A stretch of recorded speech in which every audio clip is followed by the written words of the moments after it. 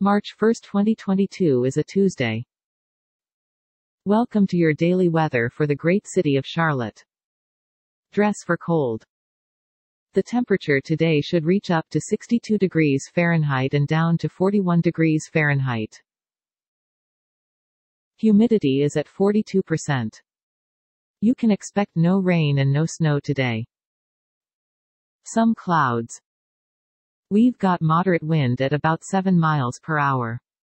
Tomorrow is going to be cold with clear sky. Thursday is going to be cold with clear sky. Friday is going to be cold with scattered clouds. Saturday is going to be cold with overcast clouds.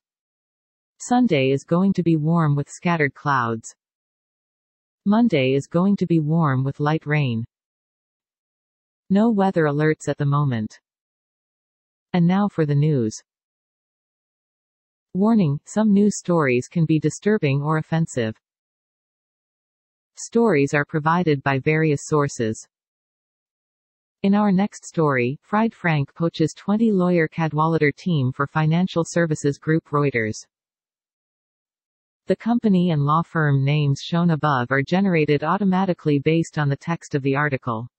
We are improven. G this feature as we continue to test and develop in beta.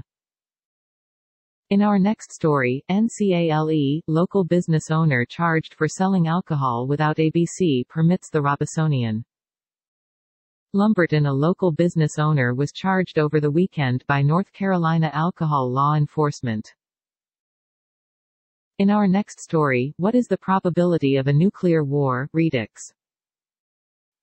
I agree with Tyler who wrote recently that the risk of nuclear war remains the world's number one problem, even if that risk d. OES not seem so pressing on any particular day.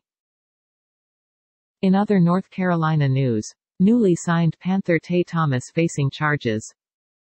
Charlotte, North Carolina tight end Ian Thomas, who last week signed a three-year extension with the Carolina Panthers, faces five misdemeanor charges for attempting to escape police on a dirt bike in July. For our next story, 11 facts about ospreys. Ospreys are also known as fish hawks and sea eagles, names that refer their diet and habitat, and bald buzzards, which s. Ortov describes their white-headed appearance. For our next story, 7 famous shipwrecks. When a new cemetery is established on dry land, the grounds are thoughtfully curated. But when a ship is lost without wa, wa, RNING, there's no time for such plans.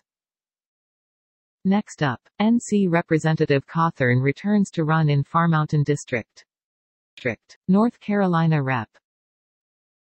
That's it North Carolina. Have a good one. 1. We're always working to improve our service, please subscribe to show support. See description for sources. This content contains information from OpenWeather TM API, which is made available here under the Open Database License ODBL.